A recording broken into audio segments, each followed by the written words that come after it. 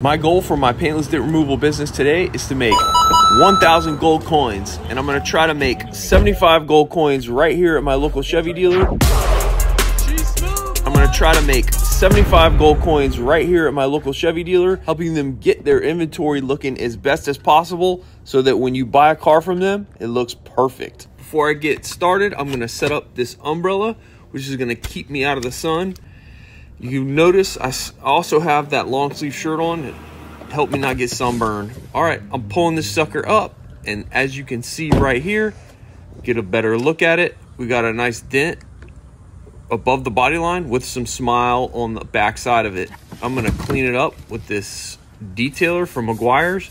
We're gonna clean, clean this panel so that we don't scratch the paint as we're repairing it and we don't want to damage our knockdowns. So I'm going to use a, a line board today. And you can see these lines should be uniform and straight, but where there is a dent, the lines are distorted outward. And whenever it is high, they are bunched up together. So I'm going to use this body line slayer tool from Dent Slayer and I'm going to use this Dentcraft R8R to push it out. You can see as I start at the bottom, pushing the distorted, bigger, fatter lines, and you can see them coming together. And on the back side of it, you can see where they're bunched up. And I'm going to grab this low profile hammer from Dent Slayer and start working on those, on that high ridge behind it, or smile as we like to call it. Now the goal with this line board is to try to get all the lines uniform and that's going to tell you that all of the metal is flat and back in shape. Now you can see I'm cheating. I'm trying to learn this line board and really the reason I'm using it is so that you can have a better idea what's going on because I feel like it's better or it's easier for a beginner to see what's going on, but it's harder for me to use and I'm using my normal fog board behind it is what I'm actually looking at. But I got the camera pointed at the line board so that you guys can have a better idea what's going on. But I am trying to get better at it uh, because it is more helpful in a lot of different situations. So I'm a beginner at that thing. All right, I'm swapping that out. This is the Dent Slayer nylon tip.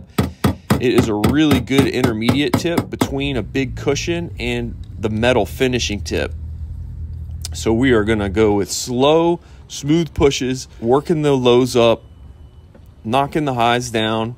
This trade always comes down to the basics. So if you need to learn the basics, I would recommend the Dent Slayer video training course or in-person training with the Dent Slayer. Now I'm gonna get back a little bit. That's why I'm using this blending hammer. It allows me to get some distance between me and the dent and get a, a lower angle so that we can do more fine tuning. Now I'm back to the knockdown and hammer, smoothing it out.